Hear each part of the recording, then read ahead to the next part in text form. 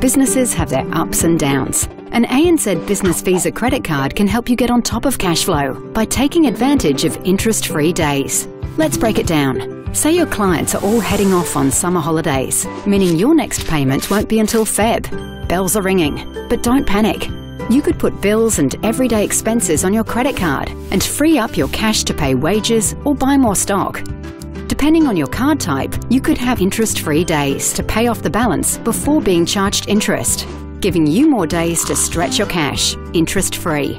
Get in touch and find out how you can get more days to pay with an ANZ Business Visa credit card.